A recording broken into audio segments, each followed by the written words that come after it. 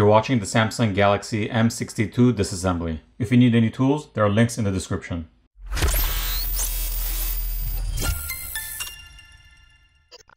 We're going to start off by removing the SIM tray. Next, we need to use a hairdryer or a heat gun to apply heat to the back plate so we can loosen up the adhesive underneath. And then we're going to use a plastic pry tool to pry the back plate off. Here's a look at your plastic back plate. There are 15 Phillips screws which need to be removed. Once all the screws are removed, we're going to disconnect this flex cable over here for the fingerprint reader. Once we have that flex cable disconnected, we're going to take our plastic pry tool and place it in between the plastic back housing of the phone and the frame of the screen. And then we're going to run it along the edges and pop the catches off.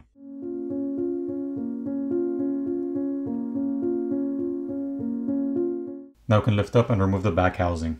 So taking a look at the back housing, we can see the NFC antenna is located right over here. You also have a few antenna flex cables right here and on the bottom as well. On the other side, we can see the loudspeaker is located over here on the bottom and your fingerprint reader is located over here on the side. There's also a layer of graphite over here to help transfer heat. So back to the phone, we're going to disconnect the battery cable first. Once we have that disconnected, we'll disconnect this flex cable which connects the subboard to the main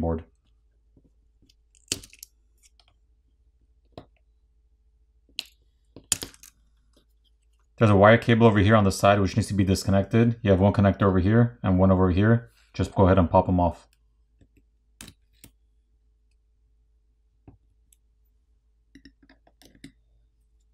Now we're going to disconnect the front facing camera.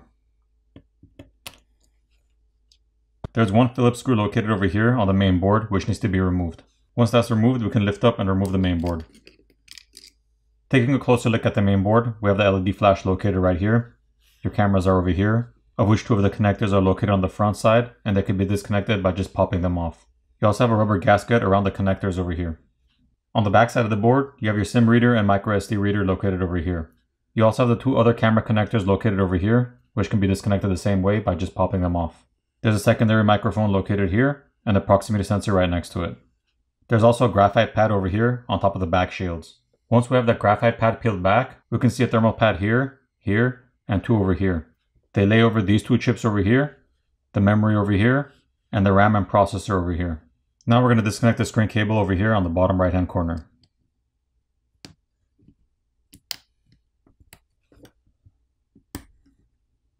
And then we can go ahead and lift up and remove the charger port board.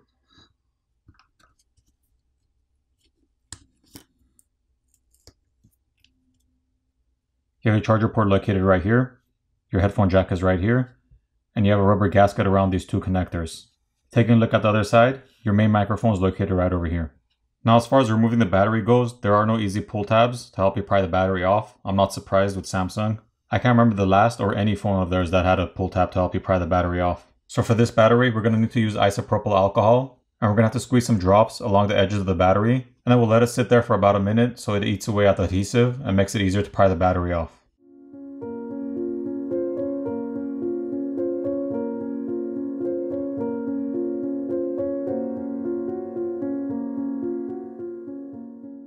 Here's a better look at your battery.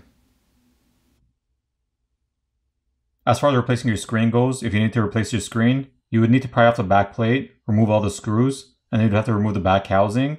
At that point, you would have access to the battery cable to disconnect that, as well as the screen cable over here on the bottom to disconnect the screen cable. Most screen replacements will probably come with this mid-frame pre-attached to the screen, so you need to just take all your parts from your mid-frame and replace it onto your replacement mid-frame. But if you have a replacement screen that doesn't have the mid-frame attached to the screen already, all you have to do at this point, heat up the front of the phone where the screen is to loosen up the adhesive underneath the mid-frame and the screen.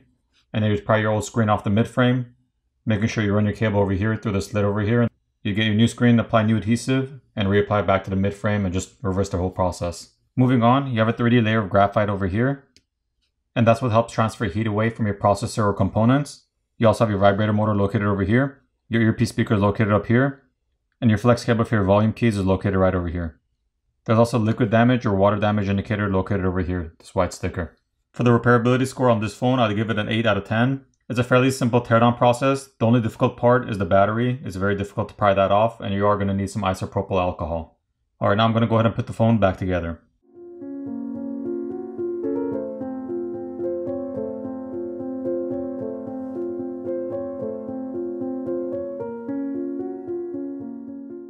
Once you have all your screws back in place, apply new adhesive and reapply the back plate.